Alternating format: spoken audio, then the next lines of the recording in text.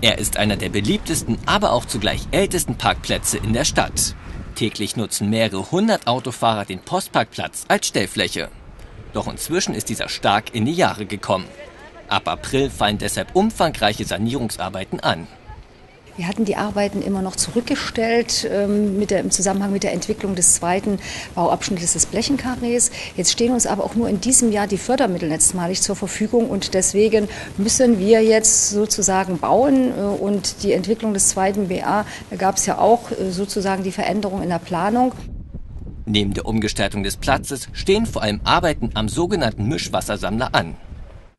Ähnlich wie hier setzt die LWG auf schwere und moderne Technik.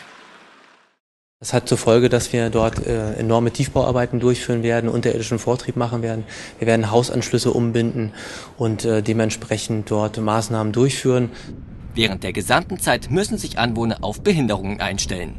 So dient dann der Stadtteilenvorplatz zum Großteil als Baustellenlager. Das hat zur Folge, dass der Wochenmarkt zumindest mittwochs in die Sprem verlegt wird. Und auch das Stadtfest ist davon betroffen. So gibt es für die Karussells auf dem Postparkplatz und für die Bühne auf dem Stadtteilenvorplatz keinen Ersatz.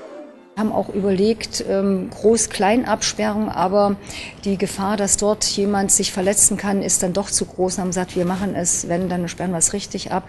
Und Privatflächen äh, wollten wir nicht nehmen. Es ist ja in unmittelbarer Nähe, wird ja auch mal gefragt, eine Privatfläche äh, in der Nähe. Wir wollen im öffentlichen Raum, in öffentlichen Flächen, dort, wo wir es auch selbst bestimmen können, wo wir selbst entscheiden können. Bei der gestrigen Infoveranstaltung klärte die Stadt über ihre Vorhaben auf. Die Baukosten belaufen sich voraussichtlich auf eine Million Euro.